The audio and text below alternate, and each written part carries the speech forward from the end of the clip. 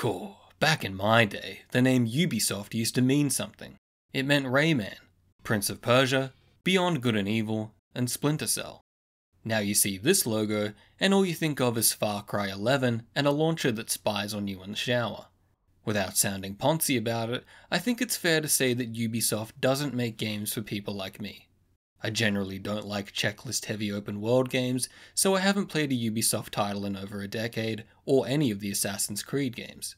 Since the original's release in 2007, there have been 13 mainline entries, and before this video is over, I'm sure there'll be a couple more. Even to an outside observer like myself, it's clear that the series has become a bit of an assembly line product, similar to yearly sports releases or the Call of Duty games. But just like Call of Duty, it all had to start somewhere. I'm sure the team behind the original COD were filled with a lot of excitement for the game they were making. They had a vision of a standout game they wanted to play for themselves, so they poured their hearts into making it a reality. And considering Ubisoft's track record of excellent games from the early 2000s, I'm sure it's a similar story of exciting new ideas and creative passion for the team that developed the original Assassin's Creed.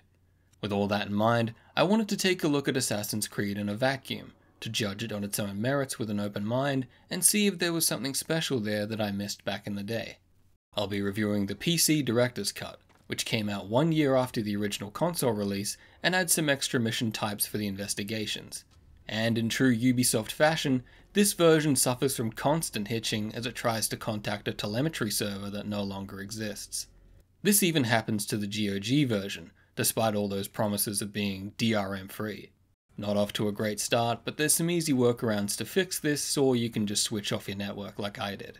You, of course, play as Desmond Nolan North Miles. I'm a bartender, for Christ's sakes! What do you want me to do, teach you how to mix a martini? A young guy kidnapped by a mysterious pharmaceutical company and held hostage as he's forced to relive the genetic memories of his ancestor inside a machine called the Animus. After a little modern day exposition, the game dunks you right into the heart of its Third Crusade setting, where you assume the role of Altair, a young Middle Eastern assassin wrapped up in a conflict with the Knights Templar. Right away, the quality of this setting practically smacks you in the face, and ultimately it stands out as one of Assassin's Creed's greatest strengths. Ubisoft have crafted an incredibly immersive setting here, and I appreciate that you're dunked right into the conflict and politics of this world without any kind of patronizing history lesson. I won't be commenting on the nitty gritty of its historical accuracy, mostly because my knowledge of the period largely stems from Kingdom of Heaven and Stronghold Crusader for Windows XP. It's all sci fi historical fiction at the end of the day anyway, but regardless, I think Ubisoft have done a wicked job of creating such a fleshed out stage for the events of their game. Altair speaking in a flat American accent might take you out of it a bit, but we'll get to him later. An excellent kill. Fortune favors your blade. Not fortune, skill. Watch a while longer and you might learn something. For a relatively early 7th gen game, the visuals and tech powering this ambitious world hold up nicely. The three cities of Jerusalem, Damascus, and Acre are dense with multiple NPC types and feel alive in a way that represents a true generational leap from the open world games of the PlayStation 2. Guards gang up on peasants, European Crusader knights chew the fat in their native tongues, street preachers shout Holy Land politics, scholars potter the streets, and beggars hassle Altair for his hard earned pocket money. It all does a wonderful job of immersing you, despite the lack of any meaningful NPC interactions or compelling side content. The PC version scales handsomely into modern resolutions too, while only amplifying a few ugly nose hairs along the way. The obscene amount of pop in while travelling is hard to ignore, and goofy pedestrian models might take you out of it here and there. Regardless, it's all very impressive stuff for 2007, especially considering the scale of its open world. While I never played this for myself back in the day, it's one of those games I saw at a friend's house on a big CRT that made me feel like a real numbnuts for buying a Wii instead. Early in its development, Assassin's Creed was envisioned as a next gen spin off to the Prince of Persia series, which would take the acrobatic platforming of the Sands of Time and place it into a more action oriented open world setting featuring a band of assassins protecting the young prince.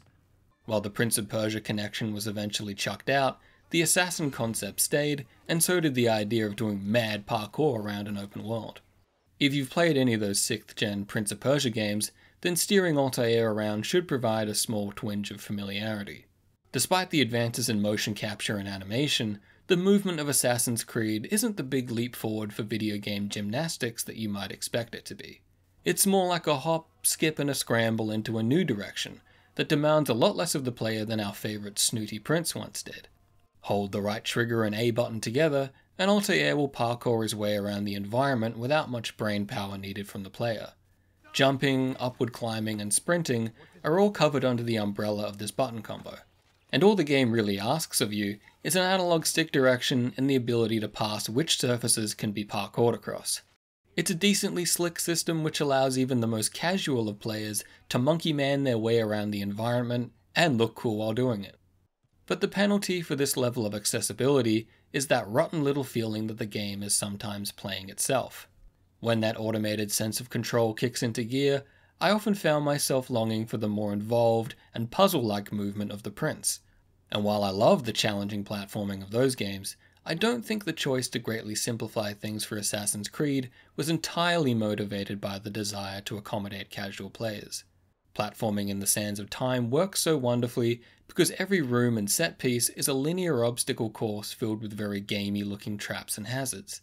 A sense of reality clearly wasn't the focus here, they're just pretty environments that serve as a stage for exciting action. Assassin's Creed instead carries the heavy burden of being a realistic open world game that can't get away with cartoonish movements or abstract environments. If Altair moved with the stiff precision of early Lara Croft, or the methodical acrobatics of the Prince, then basic actions like losing guards in a chase or quickly scaling across buildings would become very clumsy and frustrating because the realistic level design would stand at odds with such a demanding control scheme. The compromise that Ubisoft arrived at is to scatter the game with little steps, bars, parapets, and other platforms that effectively mesh with the urban environment. And instead of asking players to carefully line up their jumps, it settled on a system where the analog stick and camera work in tandem to fluidly chain movements together without requiring timed inputs from the player.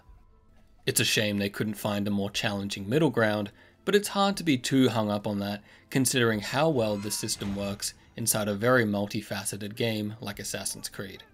Though in those rare instances where the controls go completely arse over tit for no reason, you might wish Altair had his own dagger of time. While it's entirely optional and won't make or break the speed of your movement through the game world, Assassin's Creed hides a fairly large amount of little tricks and secret animations to its parkour.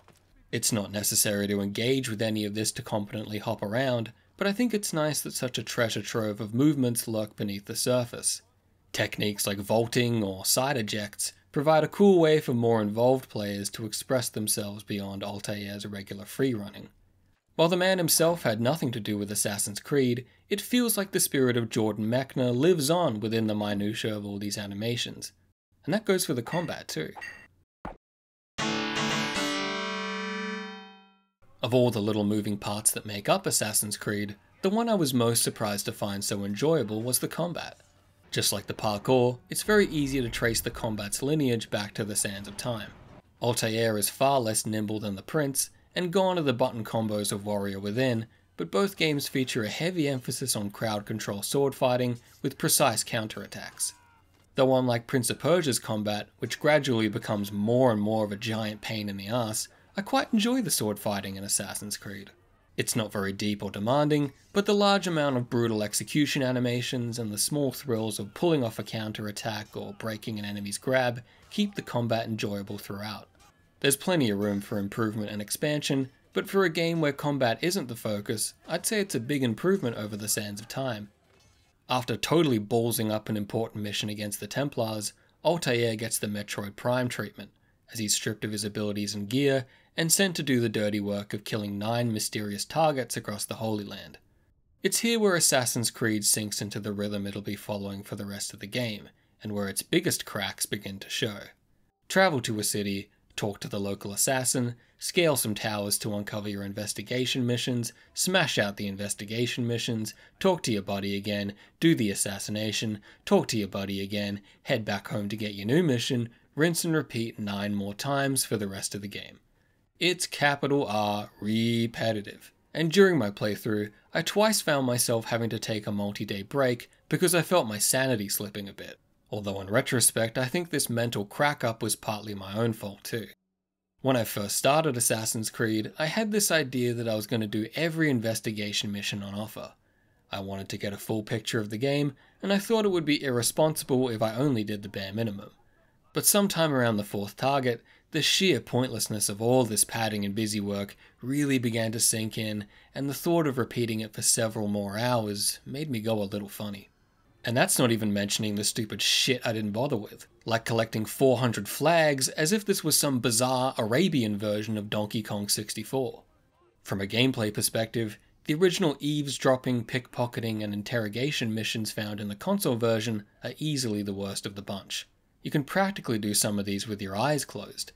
I wanted to take the game as seriously as possible and really get into the mindset of an assassin doing his investigations but my patience for listening to recycled goons, paid off street preachers, and corrupt officials quickly wore thin, and eventually I found myself struggling to care about the context they were providing to an upcoming assassination. The extra mission types introduced in the director's cut have a bit more challenge, but their rewards typically feel hollow. Occasionally you'll get a little letter with some extra backstory, but more often than not, your copy pasted quest giver will only give you a map of guard positions or laughably obvious advice like, try entering from the roof. I think it says a lot about Ubisoft's confidence in these missions that you're only ever expected to do two or three out of a possible six. They knew it was crap, they knew the players would think it was crap, and this is their way of softening the blow without having to rethink the game's core structure. And regardless of which missions are completed or what Altair uncovers, he'll always return to the assassin's hideout with the full picture anyway. Having to climb multiple towers just to uncover these missions is a real drag too. Lovely views, but getting to the top rarely involves anything more than holding two buttons and pushing forward on the analog stick. These towers are the one section of the game where Ubisoft really should have pushed the difficulty of the climbing and platforming. Isolated from the rest of the game world, climbing one or two huge towers could have served as a nice challenging puzzle that put the player's skills to the test. Instead, they're forced to climb a bucket load of smaller ones that can basically be done on autopilot. There's a couple of good climbs in there, like scaling the enormous church in Acre, but those are the exceptions to an otherwise mind numbing amount of padding. The investigation format and the way it was done is my biggest disappointment with Assassin's Creed. The missions are dull, and the information Altair works to get ultimately has very little bearing on how an assassination will play out. At best, you'll be told your target might head back to a different area, or given a moment when they'll be most vulnerable, but it's never anything you couldn't have easily figured out on your own during the assassination. There's a real missed opportunity here to do something similar to the Hitman series. What if Altair's missions gave him genuinely valuable information or tools to pull off the perfect unseen assassination? The more investigations you do, the more flawless and covert the kill finally becomes. Even if no improvements were made to the missions themselves, players would be more motivated to complete them all rather than just slogging through the bare minimum. The devious creativity shown off in a game like Hitman Blood Money could have worked so beautifully here. But there's no poisonings, fatal accidents, costume changes, or anything fun like that on offer here, just Altair, his blade, and a big bale of hay. And as far as assassins go, Altair isn't the smoothest of operators either. I really dislike how some assassinations practically force you into creating a big commotion, while others can be done quietly with a quick getaway. For those kills where causing a scene is unavoidable, it just makes Altair seem like a bad assassin, which by extension makes you feel like a bad player. The best you can hope for in missions like these is a quick getaway, and in a game all about planning and pulling off assassinations, well, that's a pretty big hair in the soup. On the bright side, the targets themselves and the cutscenes leading up to their death are usually quite engaging and memorable. My favourites of the bunch include the merchant king who poisons his party, the French doctor experimenting on his patients, the book burning scholar, and the Templar knight wigging out because he knows Altair is coming to get him. Most of these assassinations involve some sort of moral quandary for both Altair and the player to think through. Should free information be restricted for the sake of social cohesion? Should doctors perform unethical experiments if it means more lives saved in the future? Is tyranny justified for the benefit of a safer society? It's nothing especially noodle scratching, but it's enough to give the Templars an interesting air of moral ambiguity, and for Altair to begin questioning the hypocrisies of his own order. After creating so much chaos himself, Altair's platitudes on morality become more hollow with each kill, feeding the growing disillusionment between him and his master and forcing him to look inwards for the right answers. Spoilers from here on in. I really wasn't expecting to enjoy the game's story or Altair as a character as much as I did. As repetitive as the game is, the hit list format provides a nice framework for us to see Altair develop. It's gratifying to watch him grow from an impulsive, zealous blockhead into a more mature, but also deeply conflicted individual. Having his corrupted master serve as the game's final kill was an awesome way to put a cap on Altair's development and the bigger themes of the narrative. The self righteous puppet master who played both sides while preaching the benefits of free will is gone, and in his wake, there's a chance to reform the Order. Al Mualim violently controlling everyone around him, even for the sake of eventual peace, was a clear violation of the freedom the assassins fight for. But in the face of overwhelming odds, Altair is left wondering whether or not his master's ends justified the means. You know, it's not Shakespeare, but for a big budget action game, it's enjoyable stuff. Another highlight was the relationship between Altair and Malik. Altair's recklessness cost Malik his brother and his arm. Watching the pair slowly squash their beef and come to respect one another was a nice slow burn that really brought a smile to my face towards the end. The only awkward dent in all of this is Altair's American accent.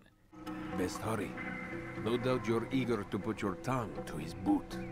Another word and I'll put my blade to your throat. I get that this was probably done to make him more accessible for a global audience, but when every other character in the game has a thick Middle Eastern, French, or British accent, Altair sticks out like a sore thumb, a clear violation of the Assassin's Creed.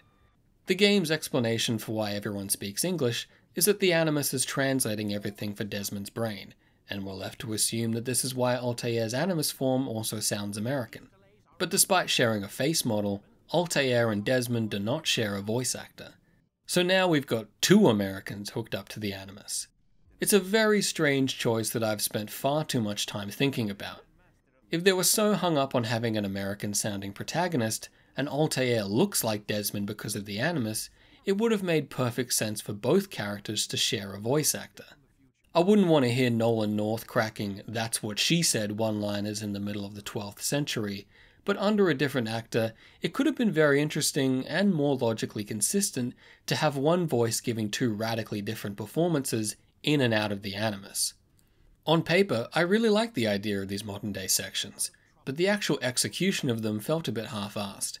They're a good way to break up Altair's story and drip feed a little more of the sci fi plot to the player, but when the characters are less interesting than those inside the Animus, and there's little to do other than hang out with Veronica Mars, I think most players would probably feel antsy to get back into the action. If given the choice to cut these from the game completely, I definitely wouldn't. I just wanted more substance from them. Early on, I got excited when I managed to steal an access pen and read Kristen Bell's emails. There was a nice subplot within which fleshed out her character, and doing the same for Dr. Vidic provides some interesting nuggets about Abstergo and the outside world. This sort of thing slots in perfectly, and my disappointment that these emails were the only things to muck around with really soured my opinion of these segments. If every one of these interludes allowed players to quietly sneak around, read bits of lore, and gradually explore more of the facility, it would have better justified the sci fi plot and done wonders for the game's overall pacing. Instead, you're mostly stuck listening to this one dimensional moron. Time for more exposition, Mr. Miles! As someone with way too much free time, I like to play certain games just for the sake of better understanding the medium. There's a lot of milestone games out there which introduced brilliant genre defining concepts despite falling flat on their face as an overall experience. While I might not always enjoy playing through them, I still feel like beating these games gives me valuable insight into how they shape the games of today. Before starting this video, I was sure that Assassin's Creed would also fit that mold, as an ambitious but deeply flawed product that steered open world games into the modern checklist format we know today. And if you want to be objective about it, I suppose that is a fairly accurate little summary. The investigations suck, the modern segments are undercooked, parkour is often mindless, and the egregious amount of padding and repetition is enough to keep many from ever finishing it. As a game that tries to accomplish so much with so many different mechanics, it can also feel like an unfocused patchwork of the more fleshed out games it takes from. But in the face of such overwhelming ambition and creativity, I just can't bring myself to feel cynically about Assassin's Creed. Its many glaring issues hold back what could have been a classic, but when it's good, it's great. As a simulation of being a medieval contract killer, Assassin's Creed may leave a lot to be desired, but as a multifaceted, sci fi historical fiction action adventure game, there's nothing else like it. So while Ubisoft may have bitten off more than they could chew, I'd say Assassin's Creed 1 is still a job well done. I've heard many long-time fans say this is an entry that should be skipped, but even as someone that hasn't touched the rest of them, I can tell that's a big mistake. Despite all its gameplay quirks and shortcomings, it takes its own themes and narrative very seriously, and I just can't imagine jumping right into any of the sequels without understanding the philosophical context this game works so hard to provide. Ultimately, I'm very glad to have played Assassin's Creed, and the world and atmosphere of Altair's adventure has lingered in my mind much longer than I expected it to. It didn't convert me into a franchise superfan or change my mind on Ubisoft's open world format, but it did inspire me to grab that sequel everyone loves so much. And that's a video for another day. In a time where Assassin's Creed has developed such a negative reputation, I'm glad I went into the original with an open mind and a willingness to be proven wrong. It can be so easy for forums or comment sections to create opinions for you on games you've never even played. Like any other dummy, I'm certainly guilty of this too, but enjoying a game so far out of my wheelhouse has got me reconsidering all the other titles I've written off without trying. You just never know until you play, but all it takes to find out is one small leap of faith.